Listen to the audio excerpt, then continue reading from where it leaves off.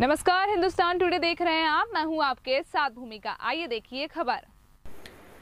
डबरा अनुभाग के पिछोर उप तहसील में निवास कर रहे एक ऐसा दंपति परिवार भी है जो समाज सेवी संस्था और प्रशासन को मास्क बनाकर निःशुल्क दे रहा है। यहाँ आपको बता दें, डबरा विकास खंड की नगर परिषद के वार्ड क्रमांक 14 छोटा बाज़ार, बांके, बिहारी मंदिर के सामने गुप्ता दंपति निवास करते हैं। श्रीमती प्रभा गुप्ता गहरणी और अपने घर पर सिलाई कढ़ाई का कार्य करती है। जब उन्हें मीडिया के माध्यम से जानकारी मिली की आम आदमी तक मास्क नहीं पहुँच रहा है, गुप्ता दंपति ने एक अनूठी पहल की और मास्क बनाकर शासन प्रशासन और आम नागरिक तक मास्क बनाकर पहुँचा दिए।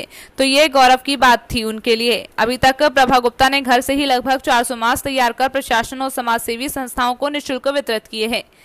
पिछोर से हेमंत कुमार पंडा की रिपोर्ट।